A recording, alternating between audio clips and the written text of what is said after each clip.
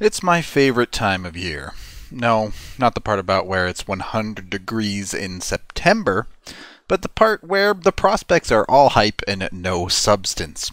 Pretty soon, though, that's going to change. Avalanche Rookie Camp starts tomorrow, and the rookie tournament is within the week, so what better time to do a prospect pyramid? Oh my goodness gracious! Wasn't in time! Score! Justice is served! A couple quick ground rules to start off. The pyramid is for players that are still eligible for the Calder, also adding the stipulation that they have to be 23 and younger. That means they've played less than 25 NHL games and they are 23 and younger. The one notable exclusion here is Logan O'Connor, who many do still view somewhat as a prospect. The concept of the prospect pyramid is that you don't have to do an order rank. There's no point in arguing over your fifth and sixth best prospect if they're both the same tier of player. However, many people still do like to pick a number one overall prospect within a system. And if I absolutely had to pick, it would be Bo Byram. He is the best prospect in the AB system. However, for the first time this year, I cannot separate Bo Byram into a tier by himself as a prospect. I have to put Alex Newhook into the top tier with him as well. The fact is, both of these players have already proved that they are completely NHL ready, should play significant, if not full time, in the NHL this year, and in the longer term, both of these players have potentials to be stars in the NHL. If the Avs truly are to be cup contenders, they likely need one or both of these players to grow into an important role on the team this season. If you watched the Avs last year, I don't have to explain it to you. The highlights are there. Everyone already knows what these kids are capable of. Where the fun begins, and I think where you start to see the real true strengths of the Avs prospect pool, is in the second tier. The Avs have five players currently in that tier. Realistic expectations here. Some of these players have already played NHL games, expect them to get more, and the ones who haven't, it's pretty easy to project them to get NHL games at some point. Not all of them are going to stick in the NHL, that's just reality, but you would expect a couple of them hopefully do. If they do end up getting that, the Avs are looking great in the immediate future. Most of these picks are pretty self explanatory. Martin Kaut and Sampo Ranta are the two that already have NHL games.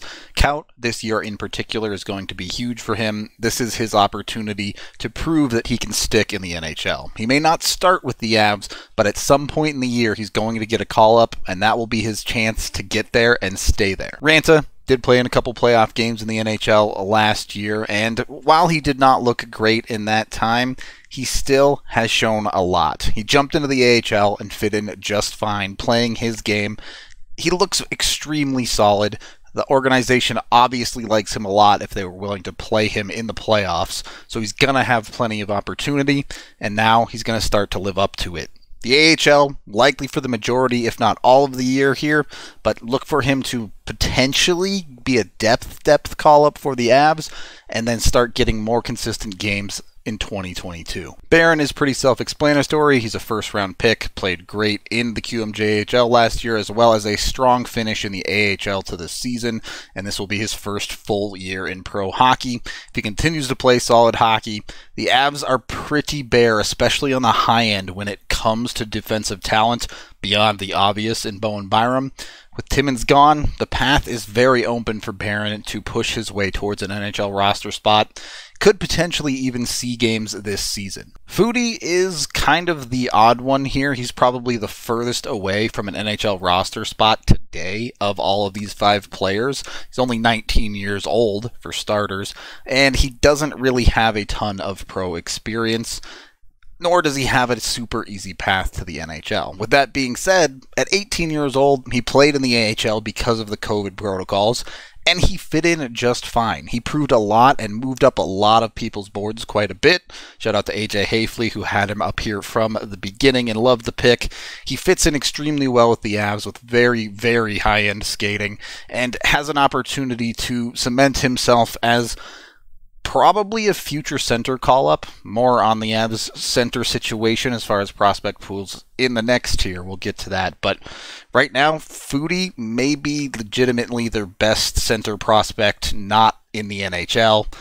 Newhook's going to be in the NHL here. Come on, let's be real. And last in this tier, you have this year's first rounder in Olausson. He has pro experience playing in Sweden. He's come over to North America to play in Canadian juniors this year. He's up here. The hype for now remains real. You're going to put a first round pick in your second tier. If you don't, Why'd you pick him in the first round? Third tier. We're now moving away from such surefire situations. I do believe there is NHL talent fully in this tier, but it's likely some of these guys, if not most of them, aren't going to get full fledged opportunities.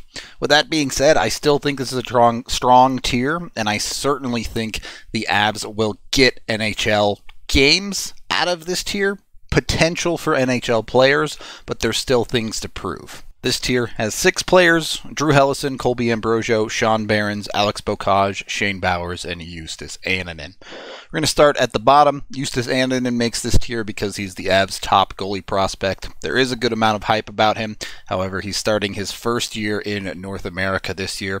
May start in the ECHL, may start in the AHL. Will likely get a decent amount of games in the AHL this year there is a good reason to be hyped. He's a big goalie who can play well, but he still has a lot to prove in North America, so you can't really put him higher than this tier. The other one at the bottom is maybe the most interesting prospect for the Avs for all of the wrong reasons. Shane Bowers is still in the organization. He has still not played an NHL game. He did not have a great season last year, and the Avs have looked past him every single time there's been an opportunity for a forward call up. For whatever reason, he's clearly not doing what the org wants to see out of him on the whole to get an NHL opportunity. This is not a Martin Kaut situation where there's been some opportunities, there's been some good, there's been some bad. Even when Shane Bowers was playing well, he got overlooked for an NHL call up. The question here is becoming what are the Avs going to do with Shane Bowers? Because I do believe there is an NHL caliber player in there, but if he's not going to get an opportunity in the organization, then he's going to just be toiling away in the AHL.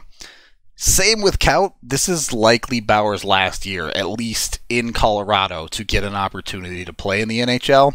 If it doesn't go well, don't be surprised to see him go to a different team and play NHL games in a different sweater. Now that we've covered those, the rest of this tier I think is a lot more fun.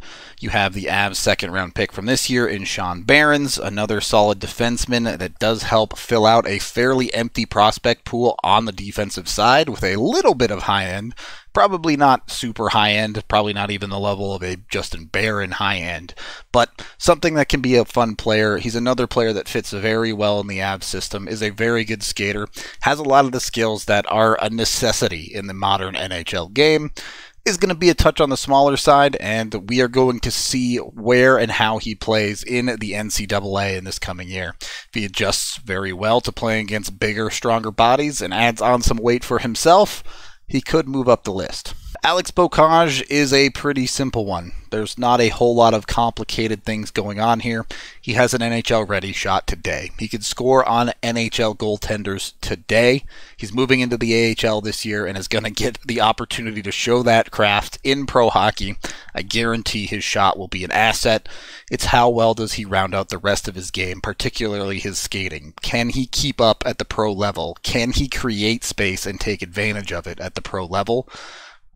I struggle to move him up the list a little bit because I do think he lacks one of those skills that is very, very important in the NHL today. But look, if you can fire a puck past an NHL goalie, teams are going to give you a look. At the top of the list, you have Drew Helleson and Colby Ambrosio. We'll start with Ambrosio because I think he is probably my personal favorite prospect in the pool. Very much so on the smaller side, but a very, very fun player to watch. He has the ability to have explosive high end offense wasn't super consistent with it this year, playing on a very strong NBC, along with Alex Newhook and Drew Helleson. Imagine that. But this was just his freshman year in college. After getting drafted, he was fun. And that's a great start. He put himself on a very strong path for a third round pick to earn an ELC with the Avalanche in the future. There still is two more years likely, certainly at least one more year of college left for him. But if he can continue on the path he's set out, he could be a name that gets talked about a lot more in a couple years. Helleson, may go down as the most improved prospect from the last time I did one of these pyramids. And he's still in the third tier. I get that, but he really rounded out his game extremely well this year. He was already very, very strong defensively on that Boston College roster, but he took a step forward in his offensive game across this year, showing he can be an effective player on that side of the ice. You still, of course, want to see more from him, and this coming season, he really is going to get a chance to be one of the top players on that entire team, like likely. So a little bit more to prove here, but if you ask me today, I think the Avs are very likely to give him an ELC. Again, the depleted defensive pool. He could be a name we're talking about with the Eagles as one of their top four defenders as soon as next year. These top three tiers are what make the Avs prospect pool so strong. They have a bundle of prospects that you're hopeful, if not damn near demanding near the top that they get NHL games. The bottom three tiers, things start to get a little bit murkier for a number of reasons varied across the way.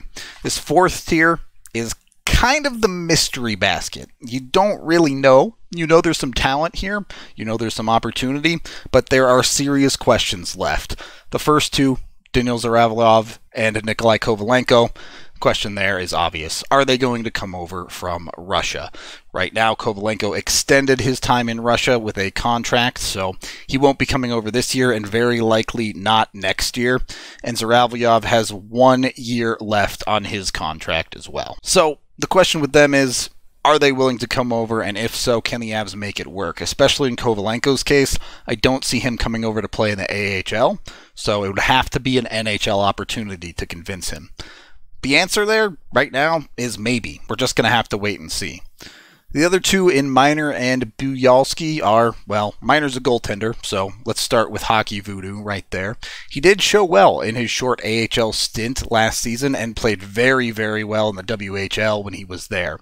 He earned himself a contract. That's great but that's just the starting point. If he wants to move up this list and make himself a real contender as a potential option in the AHL, let alone the NHL, he needs to play well and he's going to have to earn it. In Buyalsky's case, he is an overager. He played as a 20 year old in the USHL. He played great, good enough for the Avs to draft him. That's awesome. But now he's going to be moving into college hockey, and we're going to see what it's like for him to play against more of his peers. He's a big guy. He used his size effectively against younger players in the USHL. What happens when he goes against the same size bodies, the same age players as him? If he continues to be effective, great. Maybe you have something there. But again, he hasn't proved anything at that level yet. Moving into the fifth tier, and this tier is kind of what I start to see as long shots. You have Nate Clurman, Nikki Leivermann, Tyler Weiss, and Taylor Makar. Nate Clurman may be the odd one out here because he does have an NHL contract with the Avalanche, and with an empty Eagles flock, you have Barron and him as the two proper prospects on the AHL team before the Avs. So there could be opportunity for him there, but he still has a long path to go to get to the NHL from where he is. He's a great kid, he's a great work ethic, was a captain at Notre Dame when he was there. So there's a lot to like about him. He has to prove something at the pro level though you talk about someone like a Justin Barron. He came into the AHL in a short stint at the end of last year and immediately fit in. It's obvious that he has NHL caliber talent. Nate hasn't shown anything like that, so he's going to have to work up to it or find it in some way or another. Leivermann and Weiss are both going into their senior years in college and have not yet been given a contract by the Avs. It's possible that both of them could earn one, but they are going to have to play well and show the Avs something to get it. Leivermann, an offensive defenseman, that may help him. He is something that the Avs don't really have a lot of. Again, defensive prospect pool. It gets thin really, really quick, especially when people start to graduate. Weiss, he's a solid player. He has a little bit on the small side. He's been dealing with things like Crohn's disease and figuring that out as an NCAA player. The Avs give him a contract. Maybe, maybe not. If he goes off this year, it's possible. I could totally see some team giving him a try, but likely to hit college free agency, if I were to guess. Finally, you have Taylor Makar, Cale's brother. He's going into his freshman year. He showed a little bit in the AJHL. You never know. He's the new shiny on the block from the seventh round. Threw him in the fifth tier because why not? Have a little fun, have a little hope. The rest, the sixth tier, I'm calling that the everybody else tier. Realistically, these players have an extremely long path to an NHL contract, let alone the NHL itself. Players like Mutala and Burzan maybe shouldn't even be on this list. They are technically under the Avs umbrella with AHL contracts with the Eagles, but any NHL team could sign them if they show well. Their rights are not owned by the Avs. Shmakov has bounced around in Russia as well as other places at this point. He is a free agent in one year. It's just really hard to see the Avs signing him. And then you have Ahmad is still playing in Sweden hasn't shown a ton. Maybe the Avs find something they like. Maybe he wants to come over and earn it in the AHL, but it's again hard to see a path to the NHL. Finally, you have Henry and Stienburg. Henry is on the last year of his deal. He did manage to earn one with the Avs, but just has not been able to show anything at the AHL level. You can get into an argument about whether he was given enough opportunity and how much of that is on him. I'm not going to go into that in this video. Just know at this point I don't see any other conclusion other than his time under the Avs umbrella being done after this year. Stienburg remains a total mystery after foregoing his NCAA season to save the year of eligibility with COVID last year. He ended up getting injured in a junior A league and essentially did not play hockey at all last year. He was already questionably on the low side as far as talent and skill level in the prospect pool, and now he's a complete mystery with a year of development completely lost.